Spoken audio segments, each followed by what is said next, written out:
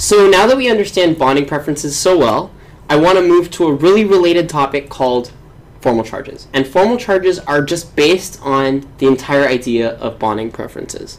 So let's go ahead and just jump right into it.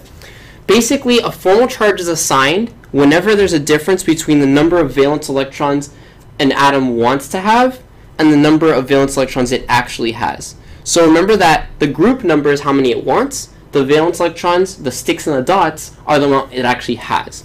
So all you do to calculate formal charge is you take the group number, whatever that is, that could be group 4, group 5, whatever, and then you subtract the valence electrons, which is just the sticks and the dots.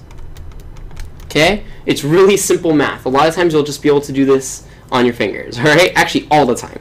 So you take your group number, then you just subtract the sticks and the dots, and you're good, all right? That's called the formal charge. The net charge, so let's write that down. The net charge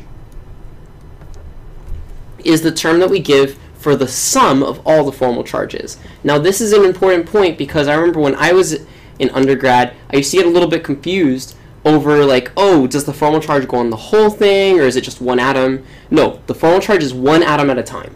You're just looking at each atom and saying, does this have a formal charge? Does this have a formal charge?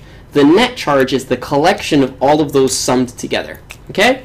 Hopefully not too complicated. There's usually not that many formal charges on a molecule.